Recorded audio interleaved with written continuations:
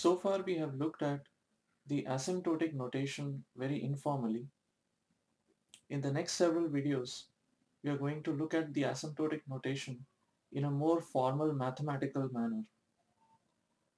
To summarize our approach so far, we took the examples of algorithms like insertion sort and we derived an exact expression for the running time of the algorithm.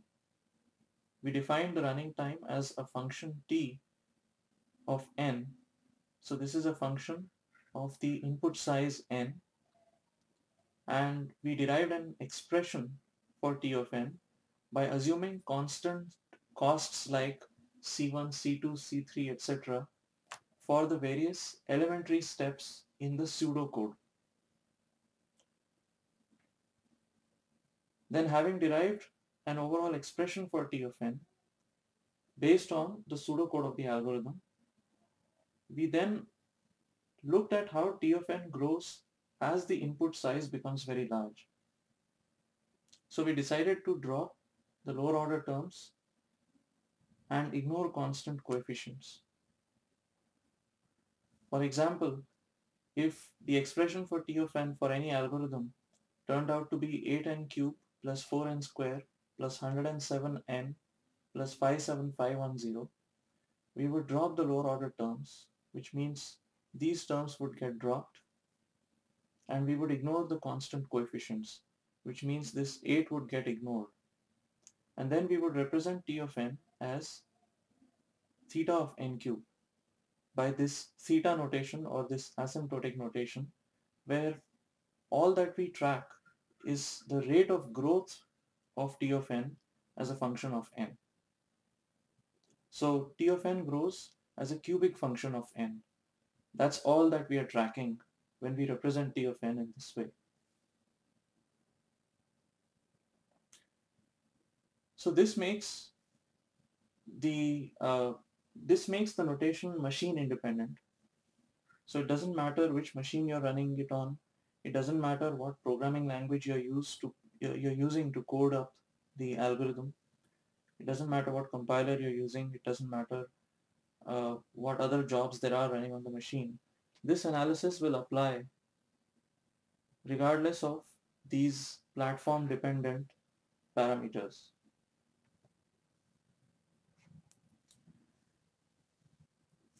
Now, independent of the machine used, the following is true.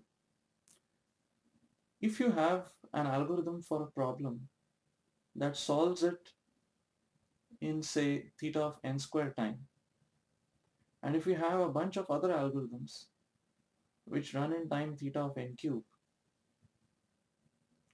one can say that the algorithm that is asymptotically most efficient will eventually run the fastest as the input size n becomes large.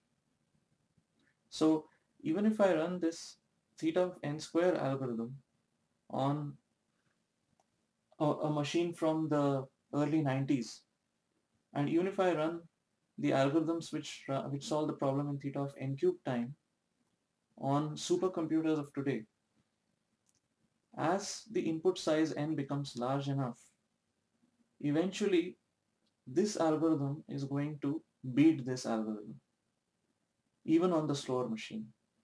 So independent of the machine used, once the input size becomes large, an algorithm that has a slower rate of growth is eventually going to beat all other competing algorithms.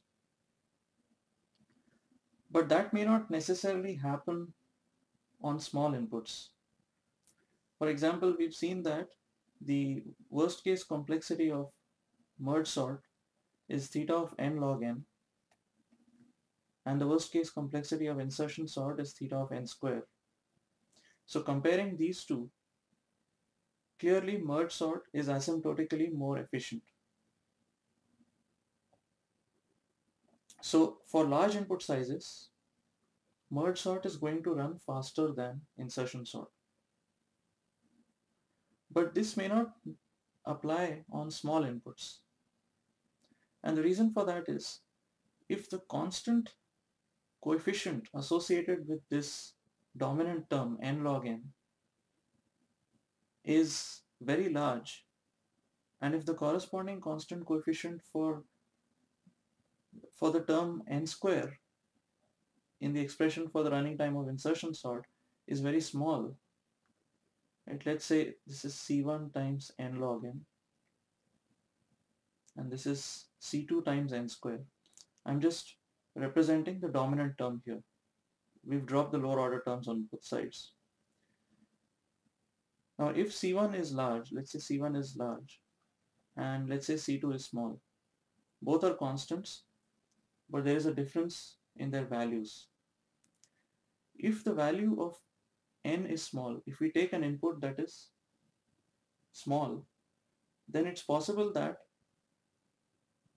merge sort may actually take more time because this large constant is being multiplied with n log n.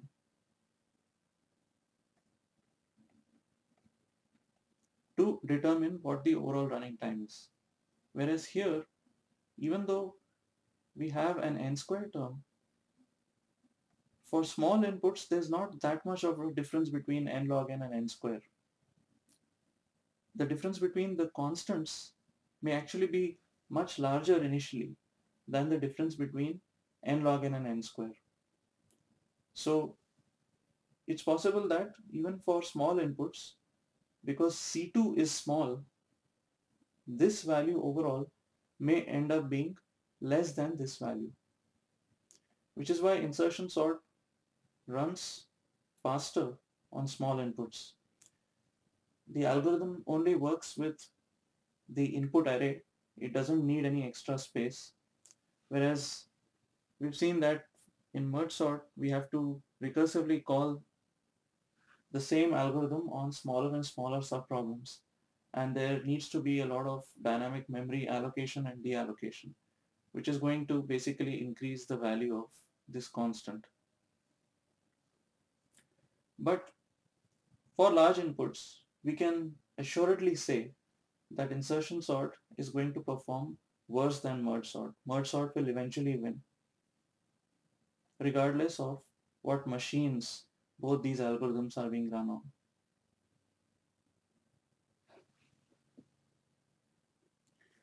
Now the notation that we have seen for representing the rates of growth of the running time, which, which was the theta notation, is actually one of many different existing asymptotic notations.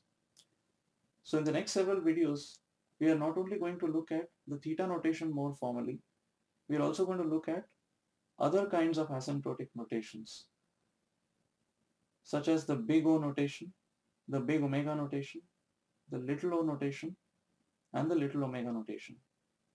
Among these five, we will tend to use the first three pretty often in this course. So with that, let's move on to a formal treatment of the theta notation. One last point before we uh, before we look at the theta notation formally we are going to assume that because T of n represents the running time of an algorithm, so we are going to assume that T of n is greater than or equal to 0. It doesn't make sense for the running time of an algorithm on an input of size n to be negative. Similarly, we are going to assume that the input size is also greater than or equal to 0. Again, it doesn't make sense for the input size to be negative.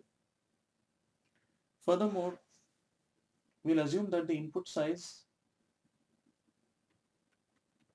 can take values like 0, 1, 2, 3 and so on. The size of an array, for example, cannot be a fraction. So our input sizes in reality will be discrete values like 0, 1, 2, 3 and so on, discrete non-negative values, non-negative integers. But in our treatment of the asymptotic notation, for example, when we talk about the expression for the running time being c1 times n log n or c2 times n square or being represented as theta of n square, theta of n cube and so on. In thinking about these functions, we will think about them as continuous functions, even though we know that in reality, their domains, the domain of these functions is basically the set of non-negative integers. So in reality, the values of n are going to be discrete. But in thinking about these functions, we are going to treat them as continuous functions. You'll see that in a few videos, we'll also be uh, sometimes differentiating some of these functions. So we'll be assuming that they are continuous while keeping at the back of our mind the fact that those functions are really relevant to us at discrete values of n. So with that, let's move to a formal treatment of the various asymptotic notations, starting with the theta notation.